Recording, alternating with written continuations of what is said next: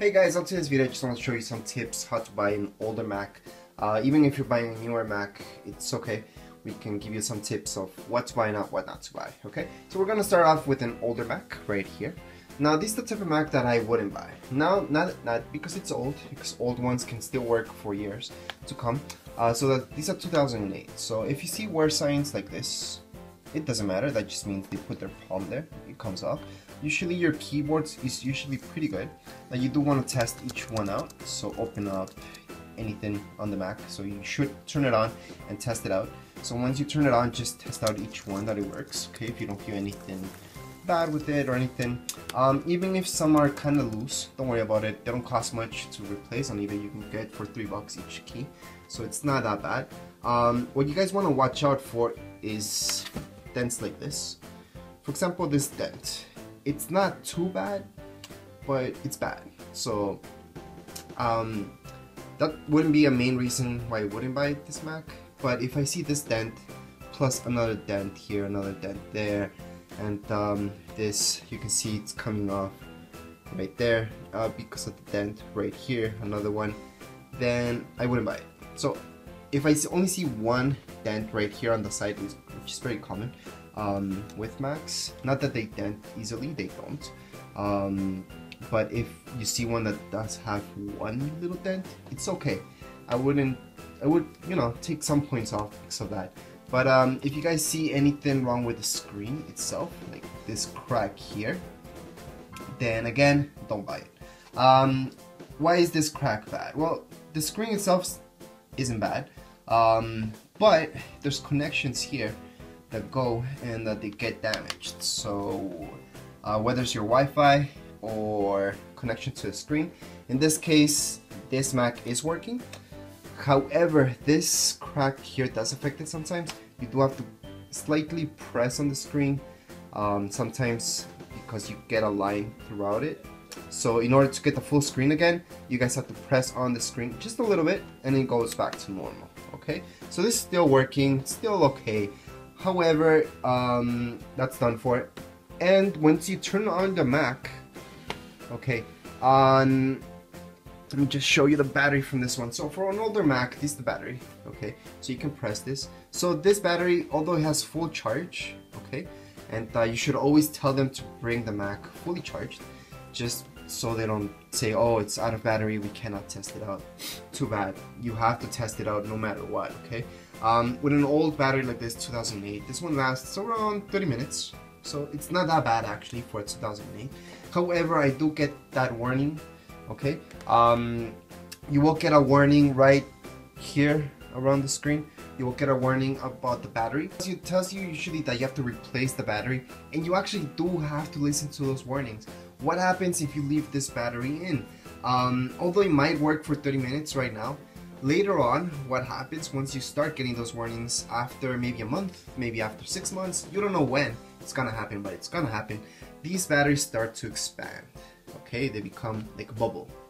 And what happens on the trackpad, you will see a bubble, okay? And sometimes it messes up your trackpad, sometimes you get it right on time, sometimes it explodes, sometimes it just becomes so big that you can't get the battery out, although it's one of these batteries that you can't get out really easily. Uh, not like the new ones that you have to unscrew in order to get the battery out.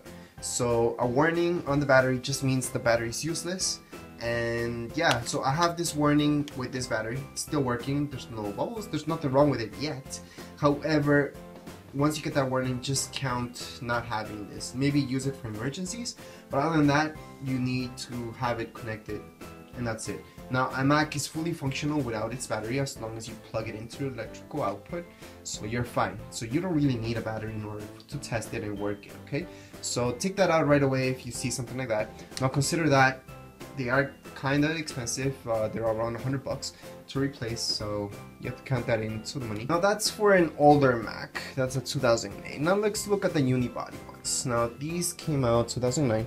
Um, you can still see some 2009 like this, not non-unibody ones. Uh, the unibody ones are these ones, so that just, um, you can see the difference with the keyboard and all that stuff. Um, the battery's built inside, you can still take it out and change it up. Um, so it doesn't mean that you can't just because it's unibody. You can take it out. So if you get that warning, I would take out the battery right away. Um, whether it's a MacBook Air, same thing. You can just take out the screws, take out the battery right away if you get that warning. Now some Macs, you may want to check on the warranty. I'm gonna show you how to check on the warranty in the last bit of the video. But um, if it has Apple Care, that's great. You don't really need a booklet. You can just check that online, but that's how the booklet looks like if the person has it. Now again, like I said, you don't need the booklet in order to check if it has Apple Care. You could have Apple Care and they don't have the booklet. Doesn't matter. That's nothing to do with it, but they might have it anyways. Um, so what you guys need to check. Sometimes people have these cases on them. These cases are great. They will maintain your Mac pretty much new all the time. So that's great to have on your Mac. So even if you get a used one, I suggest getting one of these. Um, they do break kinda easy, as you can see. There's no dents on my Mac, but however this broke. Um, I can tell you I haven't bumped this Mac into anything at all. At any time, this actually doesn't move from this desk, and yet this broke off a little bit. Um, that could just be due to the pressure that's added on a little bit, so maybe um, when I took it out a little bit, it broke off, but that's normal. That's okay because these cases are $10, $20 in some cases. Depends where you get it from. Um, but they're usually around 10 bucks and they're good. I mean, they will protect your Mac against scratches. So you could see some Macs without any scratches now that people are using more and more of these things. Some people may even have a screen protector, which is great as well. I do suggest getting one of those. Um, I don't usually get those for my Macs. I don't really see them that necessary, but they're good to get anyways. Um, so again, you guys don't want to get any dents on them or anything like that. Make sure the warranty, uh, if they tell you that there's warranty, then you can check it out. Make sure to always ask how old the Mac is. Now, if you're looking at a Mac like this, now a version of um, 2010, for example, could look exactly the same thing as the 2014. So always ask for what the model is. Okay, could be a model 2012 and they could have got in 2013. That happens and um, it's very frequent that that happens. So the model doesn't really mean that it's that old, it's just that model year. Um, so just ask them how long, how old the Mac is so you can check out the warranty after that. Usually people lie and tell you, oh, six months old or I just got it last week. And yet when you go and check out the warranty online, you guys will see that there's no warranty on it anymore. So that means it's over a year old or maybe it's refurbished. Who knows? If it's refurbished by Apple then that's okay. Uh, refurbished Macs from Apple are just okay. They could be just Macs out of the box that customer returned it. They call that refurbished. Um, they could actually be fixed by Apple. But if they're fixed by Apple, that's alright. If they're fixed by a third party, I don't trust it that much. So I wouldn't get one that's refurbished by somebody else. Uh, that goes for any computer out there, or especially iPhones, just in case. Um, other than that, guys, just check out the warranty, test out every single key, open some apps up. Uh, you want to test out the camera, everything, photo booth. I'll show you that right now. Okay, so once you guys turn on the Mac, it should turn on normally. Okay, um, and then you guys want to go into Safari. So just open up Safari. That should be down here. If you don't find it, just go up to here where you can just search for stuff. That's Spotlight search. It's right up here. It's just a little spotlight right here. Um, and you can just type up Safari, for example, and it should find Safari for you. And once you have that open, you guys can just go to apple.com. And in apple.com, we're just gonna go to our next step which is support that's uh, right almost the last option. From there we can just scroll down and you guys will see check service and support coverage. From there we can just input the serial number from the Mac. Um, get the serial number from the Mac. It's always on the back of the Mac so if you're buying an iMac it's not there. But you can always go to the Apple logo right there and just go about this Mac and then you will see right there the serial number okay? So I'm just gonna open that up again. So about this Mac, just zooming on it a little bit. And there you should see the serial number. So right now you guys can't see mine right now, but it's there. Okay, so it says serial number. You guys can just uh, scroll over it, copy it. Okay, you can just right click on it to copy it. Uh, no matter which Mac you're getting, they all have right click. Doesn't matter what year they are they always have right click you just have to activate it if you don't have it if you don't have it active you can just press control and then right and regular click and that's it so here it tells you if he has uh, warranty will tell you if it has Apple Care. If it doesn't tell you right here that has Apple Care, it doesn't have Apple Care. Okay, I don't care if they have a receipt from Apple Care. Um, they don't have it. If it doesn't say here, it doesn't exist.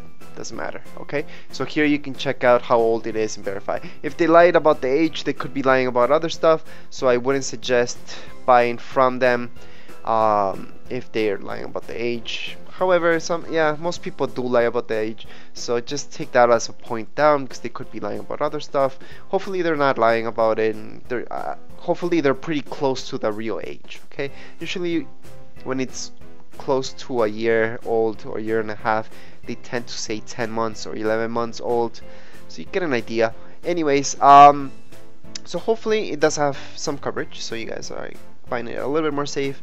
However, Macs do last a bit of time. Um, I had a 2009 iMac that the HD just failed right now in 2015. So it lasted five years. It's not bad. Um, although it was 2009 the model, I should mention that. Uh, it was bought in 2010, so that's why I said five years. Anyways, um, something else that you guys can go into, just Spotlight search again, and you guys can go to Disk Utility. From Disk Utility, just open it up. And uh, by the way, uh, once you're in Safari, might as well, you know, play a movie, play some YouTube videos, maybe play this YouTube video on it and test out the sound, uh, test out if it lags or if there's anything wrong with it. Play full screen so you guys can see any dead pixels. People get some dead pixels sometimes because they just leave their screens right there all the time. Uh, that can happen to any iPhone, iPad, just in case. And um, anyways, from here in Disk Utility, once you have that opened up, you guys can just go to the main HD so you should see these two options. Just click on the second option okay? From the second option you guys can just go to verify disk permissions. Um, although that doesn't matter that much so you don't have to worry about that much. Just go into the, your right side and go to verify disk. Now permissions and all that that's, that's more internal stuff so software wise if something's wrong which as you know software it doesn't matter because you can just um, erase everything and just uh, restore it and uh, download everything again onto it. So if there's something wrong software wise doesn't really matter. However when you verify disk just click on there. I'm not gonna click on there right now because it will slow down. It will take some time so be ready to wait 10 minutes sometimes depending on the disk and how big it is and how fast the Mac is. Okay um, so just click on verify disk. It will see if there's anything wrong with it. If there's something wrong with the hardware it will tell you. So you will know if maybe the HD is failing already. So if it's older Mac you could see maybe the HD is failing already. Maybe not. I've had older Macs. I'm not saying that any 2009 will only last five years. No I've seen older Macs like this 2008 that I showed you. It still has its original HD on it. It's working fine um, there, I've seen 2006, 2007 Macs which still have their original HDs, so it's just a matter of luck. Uh, they usually come just with a year or 90 day warranty on them, that new HDs anyways. So there you go. Um, once you verify here, you guys can see some stuff, what's wrong with it, you guys can repair disk. Um, if you guys see any errors on it, once you repair the disk, anything that hasn't been repaired, it will tell you if it's hardware.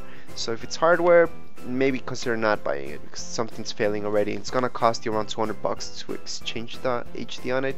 Maybe more, maybe a little bit less, but usually 200 bucks. Okay, at Apple, obviously. Um, so that's one of the tests. Other than that, you guys can also test out stuff uh, such as the recovery and all that stuff. So you guys, depending on the year, you can test out different things on it. So let's just go into Safari and you guys can do a hardware test. So just type in hardware test diagnostic. Yeah yeah that's that's okay actually. Well we don't need tools Mac. We just need Mac. And then check out the, the date. So it depends on the date. So what you guys want to do is just go to the first thing up here. So you want to do a hardware test on it. So you guys want to turn off your Mac and once you turn it on you have to press the D key for example. However again it depends what year your Mac is okay? Sometimes with older Macs you need the original CD and you guys won't be able to do this diagnostics. Um, hopefully you guys are buying a newer one which uh, you can do the diagnostics without a CD or anything and they'll make it so much easier just to see a basic look at it. Now not to say that this diagnostics will tell you if everything's okay but it gives you a really really good idea if everything's running okay with the Mac. So hopefully you guys are able to do this. Now once again you just have to turn off your Mac and before you turn it on just press the, the D right there and uh, just turn it on. Hold the D for about 13 seconds. Once you see the bar starting to load you guys can let go of it uh, or you can just hang on to the letter uh, till the bar is halfway and then you guys will just see the diagnostics and see what's up with the Mac uh, besides that, guys, always test out videos. Uh, dead pixels, well, those are just little things that you'll see on the screen. Something's wrong there. Um, take your time with it. Usually, sellers that are trying to scam you, they're usually in, in a hurry. Now, not to say that people can't be in a hurry, but if they are, I would actually take extra time looking at maybe what's wrong with this Mac. Okay, if they're a little bit nervous, that's normal. If they're very nervous, then you guys should always check out what's wrong with the Mac, why they're selling it. Um, always ask why they're selling it, how long they had it, if it's their first Mac, anything fixed on it, anything changed, any upgrades. Um, usually people usually upgrade the RAM, which is good. Um, RAM isn't that expensive, usually 100 bucks just to pump it up. Um, usually they come with 4 gigs, 2 gigs depending what year again and then you want to obviously expand that up to for example 2008 you can expand it up to 4 gigs. Uh, nowadays Macs usually come with 4 gigs and you want to expand up to 16 or even 32 gigs depending what Mac you're getting okay? Um, so something else you guys want to go obviously Apple logo. You can always go about my Mac like I showed you guys before and you guys can see some details about it okay? So to make sure that they're telling you everything that they said it's true okay? The space on it the RAM and all that stuff um, other than that that's all you guys should be looking at. Take your time looking at it. Don't hurry and just buy it okay? There's a lot of scams buying. Um, if you guys are buying something brand new in package uh, don't buy it. Take it out of the package. Test it out. You're not buying it from a store. You're buying it from somebody else. That means there's no warranty on it. There's no there's it could be just bricks inside that box okay? So you guys could be losing a lot of money I've heard those stories with iPhones a lot of times. People buy them they're in package so they look real legit. Once they open up the package maybe it's a different iPhone. Sometimes there's no iPhone in there it's just a, uh, something with weights and that's it. So people get scammed all the time. So just because you're buying something that's in retail package from somebody else doesn't mean that there's something in there okay? Anybody can package stuff up and uh, so always make sure even if you're some, buying something new that's not from a legit store. It's not from um, a retail place such as Best Buy or something like that. Take it out and see because they will not accept uh, returns okay and refunds. Uh, once you buy the Mac once it's in your hands and you take it home it's yours. If it breaks too bad. They will not take it back. Usually that's the rule and that's that's the rule because it's kind of fair to the seller as well because you, they don't really know if you dropped the Mac maybe or you bumped it into something or even if you put water on it they, they, they wouldn't be able to really see what happened to it.